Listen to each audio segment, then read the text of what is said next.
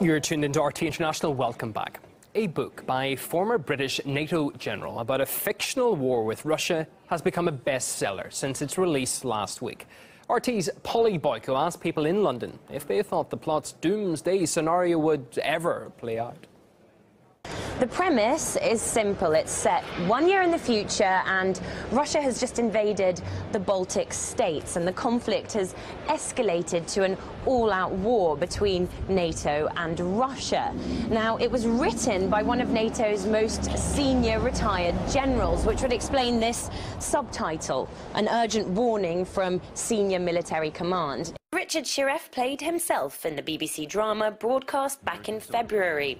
It featured 10 military and diplomatic figures pondering how to respond to a hypothetical Russia's just invaded Latvia scenario. It seems warning the world of the perils of not standing up to Russia has become this former general's latest deployment. The book's author, Sir Richard Shirreff, was unable to meet with us. However, he has said in interviews that he's worried that NATO is becoming impotent and he's hoping that his new book will act as a deterrent and will force the alliance to boost its defences in the Baltic states. I want to find out what British readers make of the book's doomsday scenario. It's not going to happen. Do you think that's a likely scenario? Mm, I doubt it. Why? Because Turkey is going to stop them. Is it going to be in 2017 or.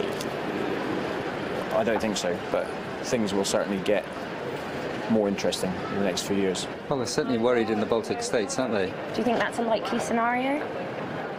No. Mm, no. No. No, I don't. Why not? Because, um, Too much at stake. yeah, and Putin's not that stupid. So I think we just like to create probably enemies for ourselves. Polly Boyko, RT, London.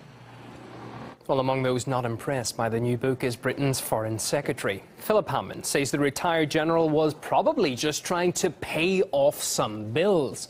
The top diplomat also called the publication irresponsible, stressing that nobody is seriously considering a war with Russia. Moving on now, German Chancellor Angela Merkel is back in Turkey and this time has said she'll use the opportunity to condemn a new law that strips some Turkish MPs of their parliamentary immunity. The controversial law enables Ankara to prosecute more than 100 opposition politicians. Before its adoption, the divisive bill brought out the worst in some lawmakers.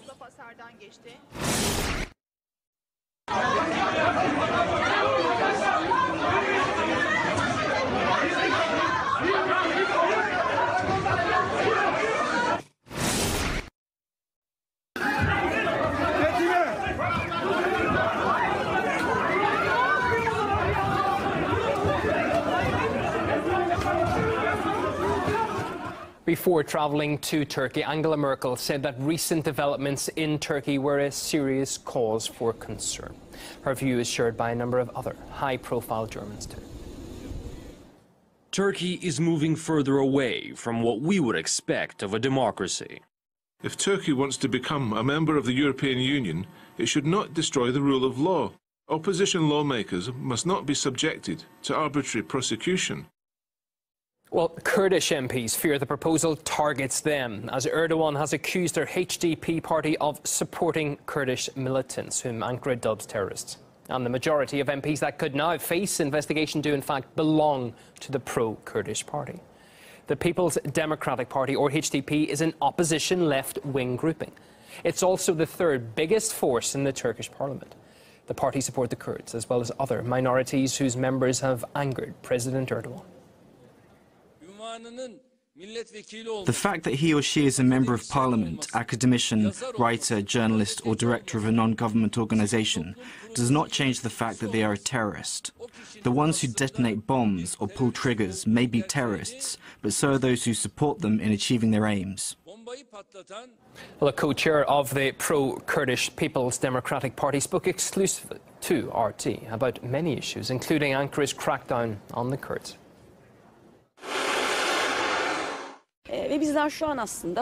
They want to kick us out of parliament because of the fact that we became the main opposition in Turkey. That's the only reason for passing this law. The government and Erdogan prefer to ban democratic parties like HDP instead of having political discussions with them. every time he looks at us, he sees democratic legitimacy and resistance, and he wants to push us away from parliament.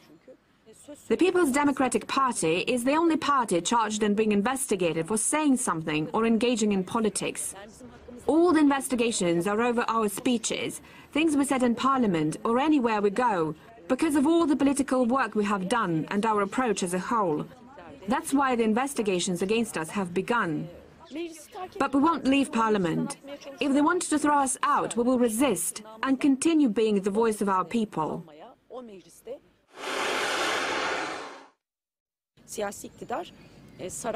The last three years, the government has pushed militarization. Thousands of new police stations were built in Kurdish cities, in the mountains, and everywhere you can imagine. Military prisons were built. We went through this at a time of peace. During those three years, a lot of civilians, innocent people, were killed. There were a lot of operations against the people and all kind of democratic civil unrest. We are being very sensitive in distinguishing between terrorists and people. We pay incredible attention so that civilians are not harmed by operations. It's a war crime what happened in Cizre. There have been examples like this in other countries around the world, and they were mostly condemned as war crimes. But in Turkey, a ruling power can easily commit such things, and no one has the courage to condemn it.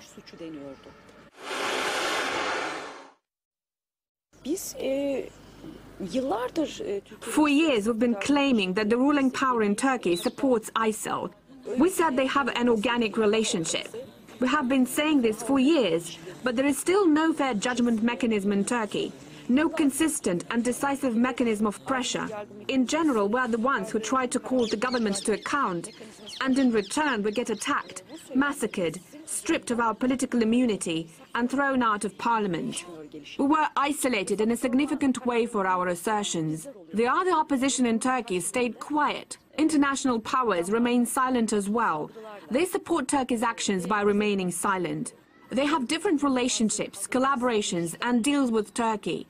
It would be appropriate to call on them to stop dealing with Ankara, because all agreements made in a bloody political process are dirty and blooded ones.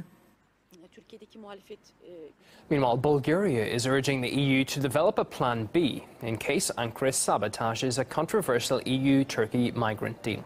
Under the agreement, Turkey will take illegal migrants from Europe in exchange for 6 billion euro in aid.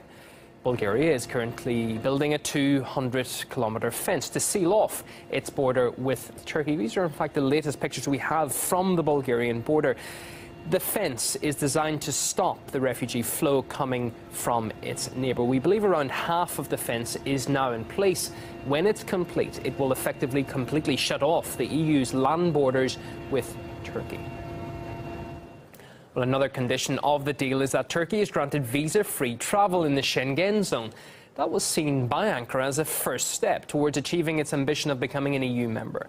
But the British Prime Minister has recently poured cold water on its hopes. David Cameron said that at the current pace, Ankara would not be joining the bloc until the year 3000.